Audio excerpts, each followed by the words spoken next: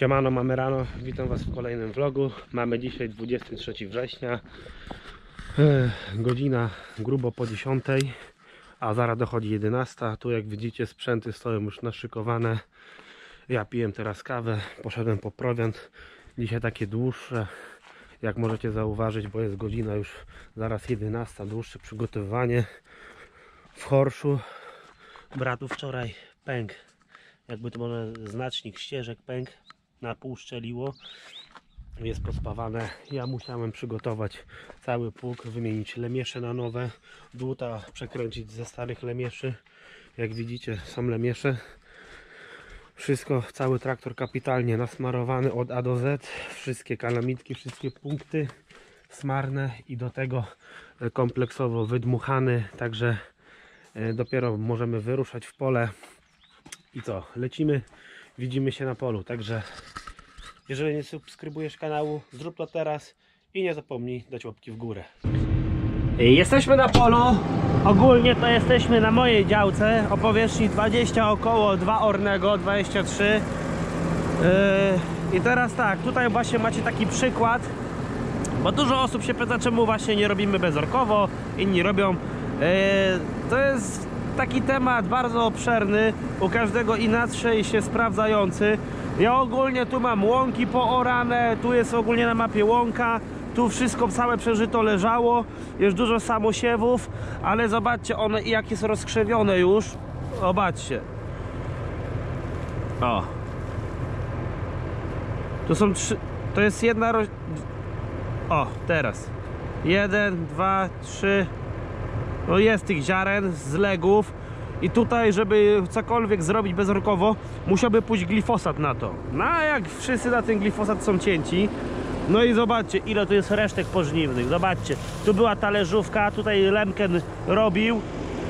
E, zobaczcie na legach, jakie, ile słomy. I powiedzcie mi, co tutaj bez systemem bezorkowym byśmy mogli zrobić. No nic, bałagan na polu. O, zobaczcie. Jakie, ile tu resztek, ile tu masy słomy było. I co wam pokażę? Ogólnie e, Zobaczcie, Kwerneland ogólnie jeżeli chodzi o pług Słynie z bardzo dobrego przykrywania resztek pożniwnych Tu jest stależowane i jak możemy zaobserwować Gdzieś, nie gdzieś Jeszcze to jednak e, nie dokrywa nie jest perfekcyjnie, dlatego że jest dużo resztek pożniwnych. No i dlatego nie robię bezorkowo zboże po zbożu. No bo tak jak tutaj w naszym przypadku, no nawet się nie da. Zobaczcie ile tu jest masy tej słomy, jak, jak to się wszystko nam przerobi, to jaka to będzie prochnica. No ogólnie tu jest słoma jeszcze widzicie z ubiegłego roku, jest nierozłożona w 100%. Częściowo się rozkłada, tu fajnie widać takie właśnie strukturę po słomie już pozostałości, tak zwaną, można rzec może jeszcze nie próchnicę, ale tworzącą się próchnicę w ziemi. Głębokość, no jest dość głęboko, prawie można by rzec, że jest 30 cm, dlatego wyszedłem, nagrywam i idę wam pokażę jak w Kwernelandzie mniej więcej, kto nie ma takiego pługa, to się dowie jak e, zmienić głębokość w tym pługu. Nowe lemiesze są, dlatego jest głębokość orki głębsza, większa, e, dlatego idziemy, tu trzeba będzie podnieść teraz go, no, podnosimy sobie. To jest wygoda w nowych maszynach. Ogólnie w starszych też jest, ale w zachodnich nie trzeba wchodzić do kabiny. E, także to jest wszystko na plus. No i teraz co najmniej z dwa gwinty sobie trzeba tutaj spłucić to, bo jest taka zasada w pługach ogólnie.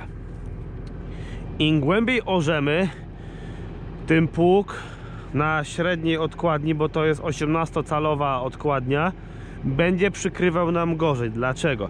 Bo jeżeli zagłębiamy go, to tu nam ziemia podchodzi, mimo że tutaj mamy te ścinacze, nam pomagają dużo, to i tak jest za mało. I teraz tak ktoś powie mi teraz, że przedpuszki, wszystko fajnie, dobrze kryją, ale te przedpuszki na takim czymś mogą nam się zapychać. Albo na takim czymś wchodzi między tako przedpuszek i nam się wszystko zapycha i też nie są dobre. E, wszystko zależy od warunków, dlatego na razie sobie spłycimy, płużek, cyk. Z dwa gwinty szoko damy płycie. Po co tak głęboko? Tutaj było ogólnie wapno dawane, jest talerzowane, więc nie widzę sensu, żeby te wapno w ogóle tak głęboko zaorywać. W ogóle chciałbym tutaj zaorać na głębokość 20 cm, nie głębiej. Dlaczego? Bo jest te wapno i po prostu nie chcę, żeby to szło na dół i później to wymywało. Ale dlaczego się nie da zaorać na 20 cm? Bo jest ogólnie na tym obrębie tutaj. Tak, staniemy prosto. Tam nie wiem, czy będzie widać te dwa słupy wysokiego napięcia. Tam jest obręb ten sarbinów, gdzie oraliśmy, gdzie nie ma wilgoci. Tutaj jesteśmy na obrębie Kruszwin i teoretycznie wilgoć mamy fajną.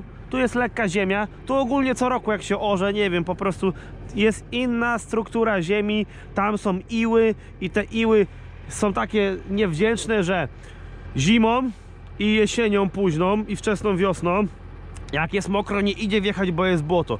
Wyjdzie tydzień czasu słońce i jest sucho. I jest po prostu skała.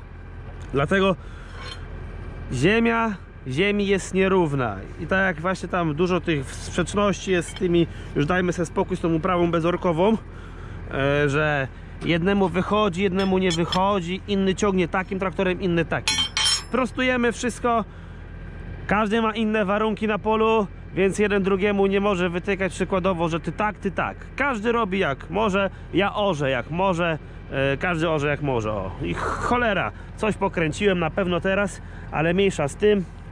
No, także e, tak na przykład taki podam wam e, przykład e, Marcina właśnie z Danii. E, pozdrawiamy Cię Marcinie, jak będziesz oglądał odcinek. E, fajnie chłopak pokazuje jak się pracuje w Danii. E, jakim sprzętem, zobaczcie, on 310 koni magnumem, nie wiem czy on jest chipowany czy nie, chyba z tego co kiedyś oglądałem, nie wiem, no e, być może już teraz nie będę wprowadzał w błąd, ale może jest chipowany na 340, już nie, nie będę teraz tu zmyślał, wiem, że to jest 310 model i ciąga pług 8-skibowy Lemkena 8 razy 40 czyli 320 i ja ciągałem Vari Diamanta, dziesiątkę pług, 6-skibowy Lemkena, rozstawiony na 55, czyli on zabierał, jest 3,20, tak? 6, 3,30 zabierał pług.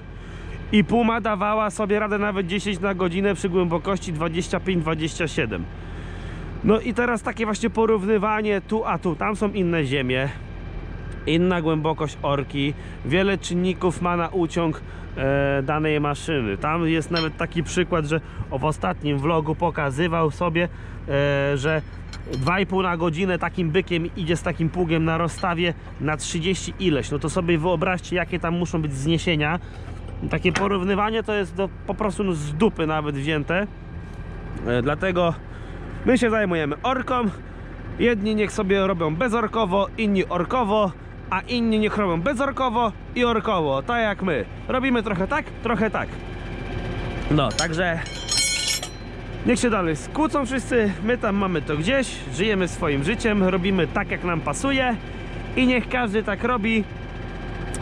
I co? Wsiadamy i zapierdzielamy, bo czas goni, późno znowu wyjechaliśmy, no taki urok jest, trzeba przygotować, wszystko się zużywa, no po prostu się nie pogoni. Ale jak to się mówi, nie pogoni. Zaraz szako pogoni 12 na godzinę, to zobaczycie jak do przodu będziemy, nie?